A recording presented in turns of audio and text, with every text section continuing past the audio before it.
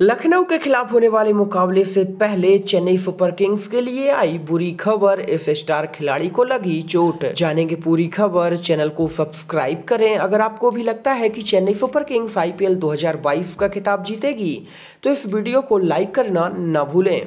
IPL 2022 से जुड़ी हर छोटी बड़ी अपडेट के लिए हमारे टेलीग्राम चैनल को ज्वाइन करें। लिंक आपको डिस्क्रिप्शन में मिल जाएगी। आईपीएल 2022 में चेन्नई सुपर किंग्स की खराब शुरुआत हुई है। चेन्नई सुपर किंग्स को अपने पहले मुकाबले में केकेआर के खिलाफ हार का सामना करना पड़ा था।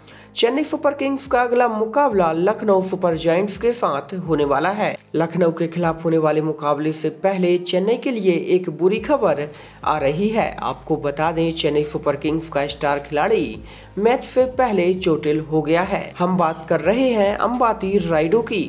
अंबाती राइडू प्रैक्टिस के दौरान अपने हाथ को चोटिल कर बैठे हैं। नेट प्रैक्टिस के दौरान गेंद उनके हाथ पर लगी, लेकिन अभी तक ये पता नहीं चल पाया है कि उनकी चोट कितनी गंभीर है?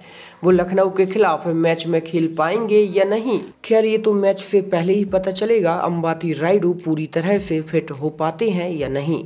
आपको क्या लगता है, चेन्नई सुपर किंग्स आईपीएल 2022 का खिताब जीत पाएगी या नहीं? आप अपनी राय नीचे कमेंट करें। चैनल को सब्सक्राइब नहीं किया है तो चैनल को सब्सक्राइब करें।